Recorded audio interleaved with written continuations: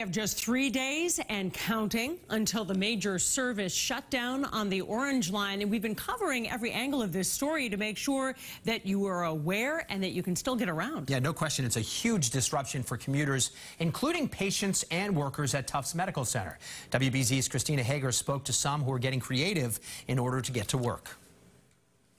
I think they should have some kind of buses coming through here.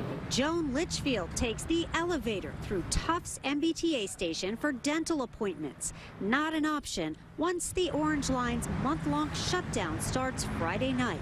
How would you get here now? Well, I have one in two weeks, and I'm, I'm going to take a Lyft. At other stops along the Orange Line, crews have been painting special lanes for alternative shuttles the T set up.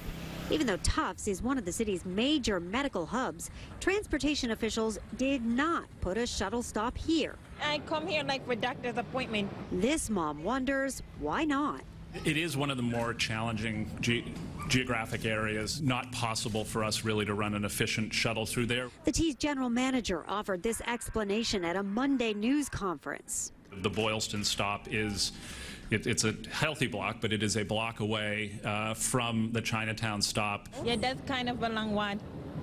For employees who ride the T, Tufts now plans to offer some private shuttles and security escorts for that long walk.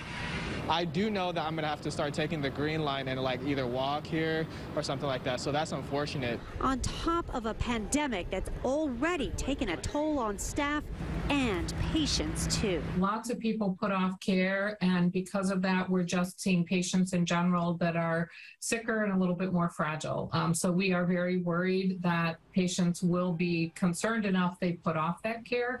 That's why the hospital wants patients to call here before canceling any appointments so they can try to help people find a way to get here. By the way, the Silver Line is still running buses here, and the T plans to increase that service, hoping it'll help. At Tufts Medical Center, Christina Hager, WBZ News. All right, Christina, thank you. And a lot of, not a lot of people realize that students in Boston, a lot of them use the Orange Line. The timing isn't great here as we show you the calendar because kids go back to school on the 8th of September, just a few weeks after the Orange Line shuts down for 30 days. So here's what you need to know as a parent. The district says that students should take advantage of the free shuttle buses and the commuter rail. They say you should actually practice new routes in advance to make sure sure that you're comfortable getting to and from school. And be prepared for some delays as well. The district says there will not be any consequences for students who get to school late.